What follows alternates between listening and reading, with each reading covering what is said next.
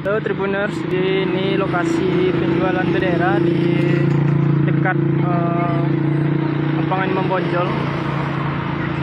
Ini masyarakat Kota Padang jika yang ingin beli bendera uh, ada pedagang di sini banyak eh, sudah bermunculan untuk 17 uh, Agustus. Ini pedagang bendera.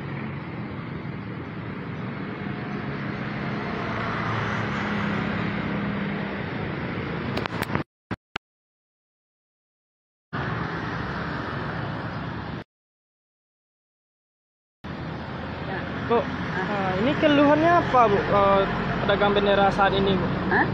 Keluhannya apa Bu pedagang bendera saat ini? Tidak ada yang beli. Tidak ada yang beli. Tidak. Itu ini sejak dijualnya sejak kapan? Sejak tanggal satu apa satu, 1 Juli. Ya. Hmm. Itu tidak ada yang beli sampai Tidak ada yang beli satu. Hanya kemarin satu satu lembar bendera rumah dua puluh ribu. Hmm, ya, bendera Bapak rumah. tua, bapak tua, bapak itu saya juga satu itu. Ya. Itu yang beli. Orang pensiun kemarin yang beli. Pensiun TNI. Ini harga benderanya ter, eh, dari berapa ke berapa? Ini sudah terjun harganya.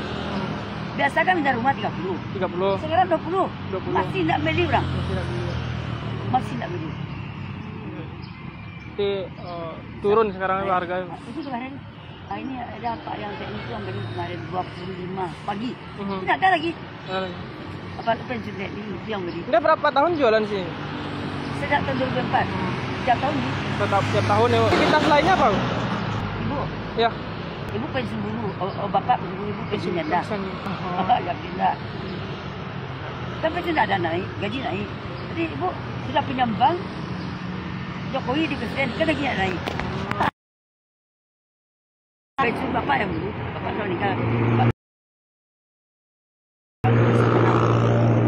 Siapa namanya? Bu? Uh, nama ibu Ermawati. Hermawati. Ya. Panggilan Mimang.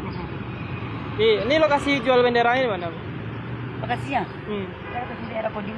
Kira kodim. Dekat lapangan Bonjol. Ya, Pak Mongjol. Pak Mongjol depan. Saya store. Olimpik. Terima kasih Bu.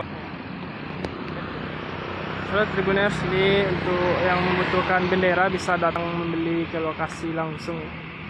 Eh,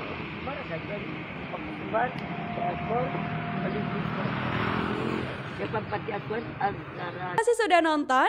Jangan lupa like, subscribe, dan share ya.